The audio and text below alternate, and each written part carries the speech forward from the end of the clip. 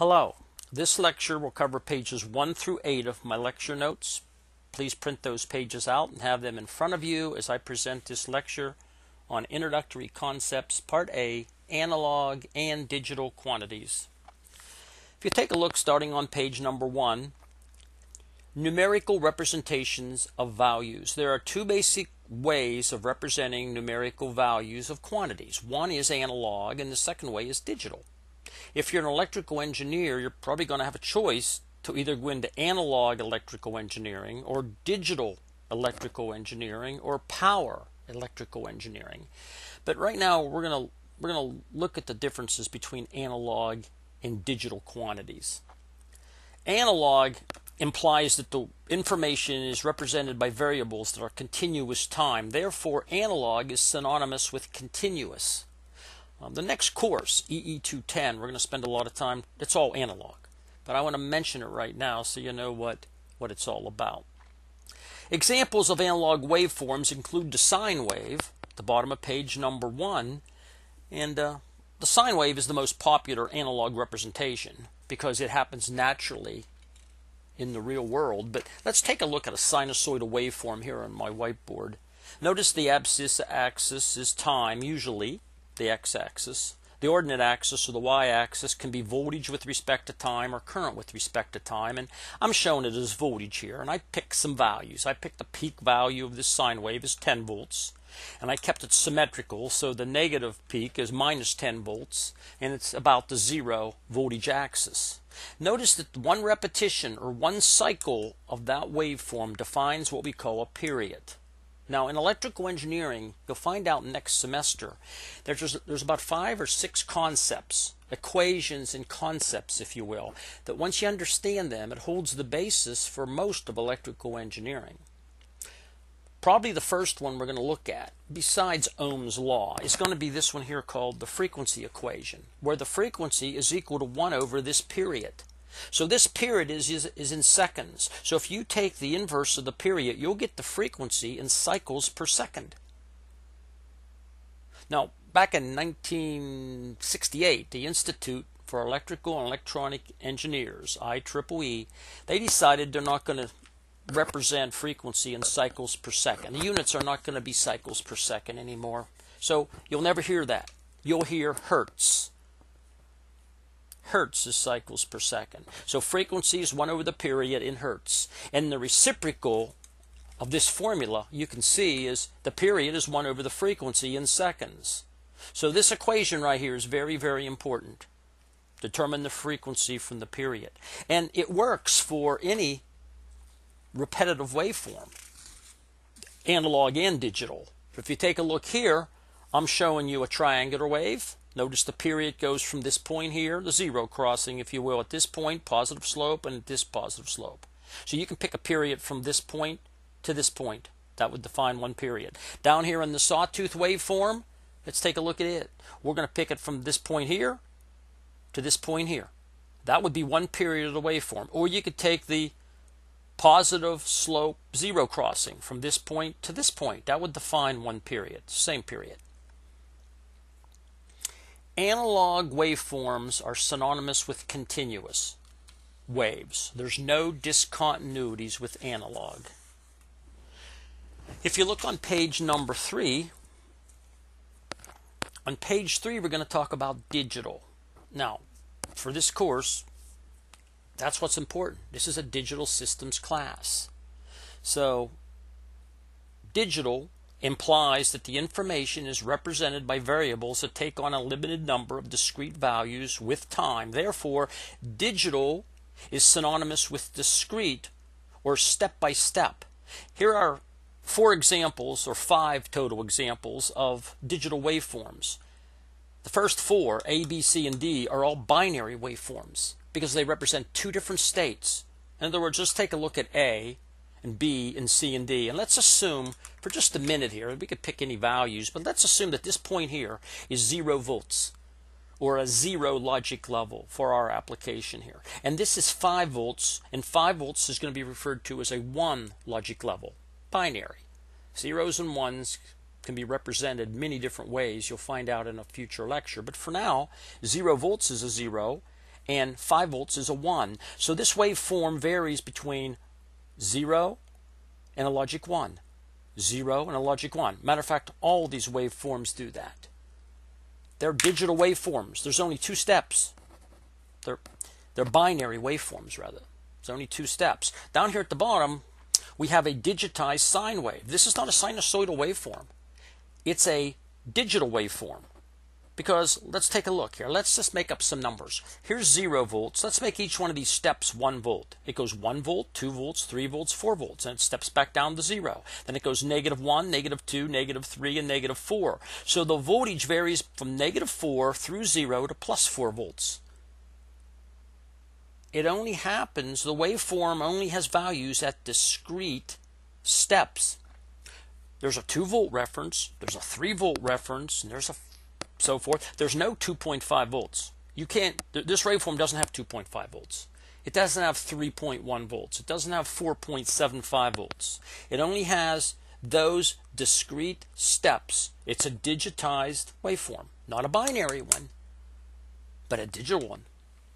Let's go back up here for a second and let's look at these digital waveforms. I'm going to I'm going to define something right now called duty cycle on these waveforms and we're going to get to it in about three weeks or four weeks, but I want to mention it now. So you might want to just write this in here somewhere on page three. I'm going to define something called duty cycle, percent duty cycle. And I'm going to say that the duty cycle is going to be defined this way in a digital waveform. Here's a digital waveform. We'll do it this way. Make sure you can see that. And we're going to call this the time low, and we're going to call this the time high. And we're going to define this point right here as one period. That's the period of the waveform. That's when it starts repeating. So the percent duty cycle is going to be equal to, in our definition, it's going to be the time high divided by the time low plus the time high times 100%. If you take a look at that waveform, that denominator can be represented a different way. I think you'll all agree that you can look at that denominator, time low plus time high, and that's the period. So here's an equation we're going to use for percent duty cycle. Percent duty cycle is equal to the time high divided by the total period times 100%. So if you take a look here at waveform A, what duty cycle? Uh, without giving you specific numbers, let's look in generalities. I want you to look at waveform A, and can you see that's a 50% duty cycle? That's what a 50% duty cycle waveform looks like. Look at B. That's what a 50% duty cycle, a different frequency, but that's what a 50% duty cycle looks like. What about C? Look at that. Stop the video and think about it. And then come back with the video. That's what a 10% duty cycle, approximately a 10% duty cycle would look like. And what about D? That's what an 80% duty cycle would look like. On page number four, there's an exercise. He says, which of the following involve analog quantities and which involve digital quantities? I want you to look through these, A through I, and I want you to look at the answers and make sure in this course you can recognize analog quantities and digital quantities. Down at the bottom of page four, it says the real world, also called the physical world that we live in, it's an analog world. All these different temperature, pressure, levels of a liquid in a tank, position of an object on a conveyor belt, or an angular position from 0 to 360 degrees.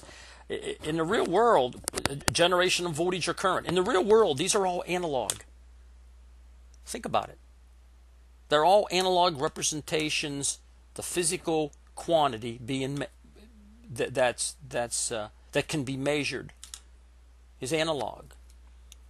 However, on page number five, if we convert analog quantities to digital quantities and use only digital values, there are many advantages to be gained. Take your time and look through each one of these, 1 through 6. These are all the advantages of gone to digital systems over analog systems. Let's discuss number 6, noise. We're not talking about a rock band here. We're talking about we're talking about electromagnetic interference, EMI, or radio frequency interference, RFI. Digital circuits are less affected by noise. Let's take a look here on page 5 and page 6. I'll explain why.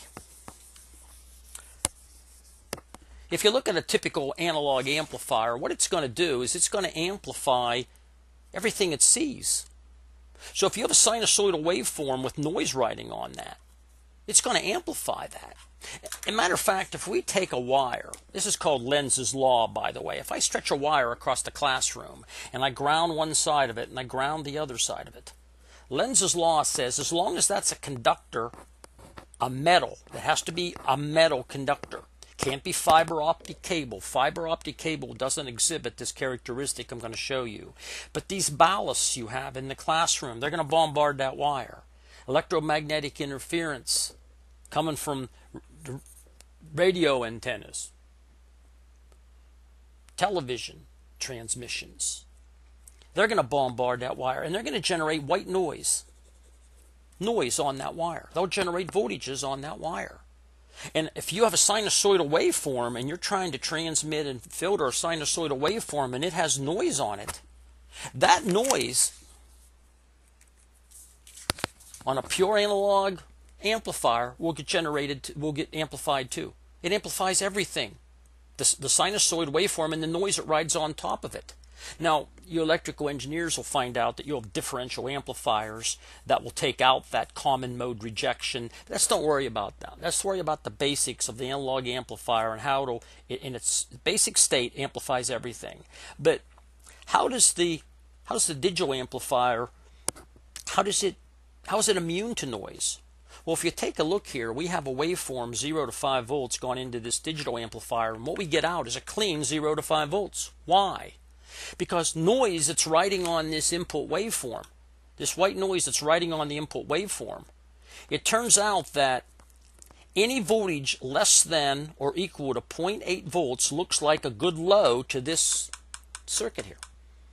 In, in TTL or transistor transistor logic, which we work with this whole semester, this is the way it works. If it's 0.8 volts or less, it looks like a solid zero to this digital amplifier and any input voltage greater than 2 volts from 2 to 5 volts as long as this noise riding up here doesn't come low enough to take it below 2, 2 volts you don't even see that noise. That digital amplifier is completely immune to that noise.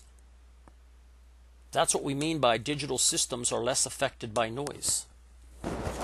And then in page 7 I want you to look at page 7 a closed loop digital control system and I want you to look at page 8.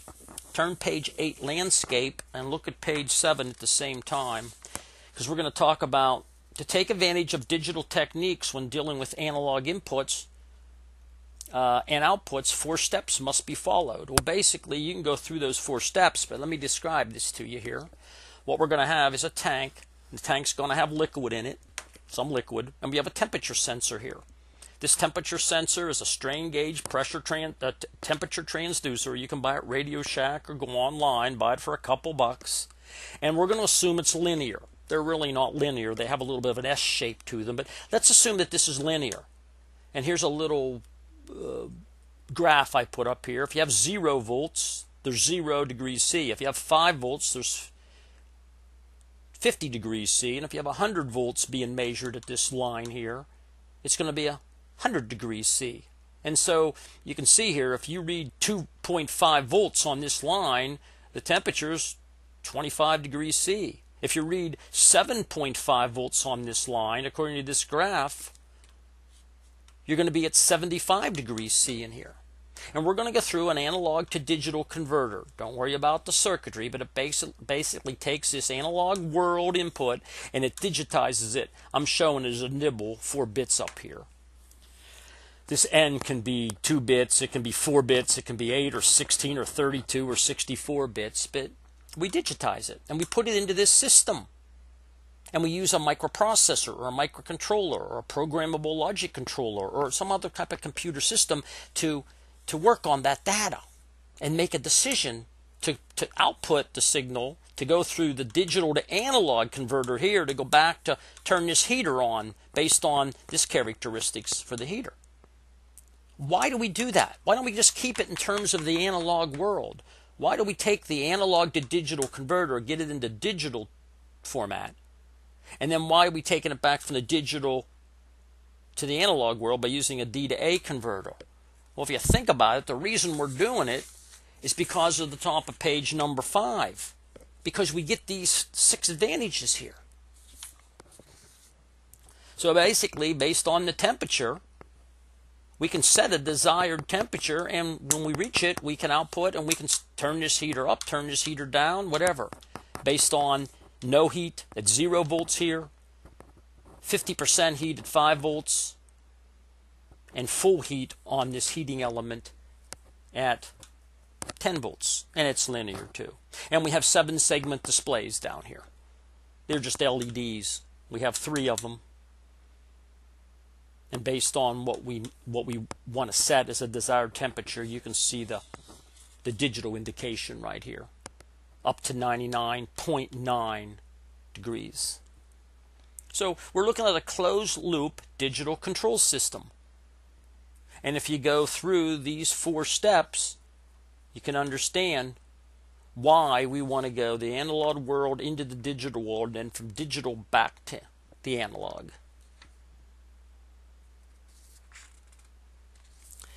And that concludes this lecture.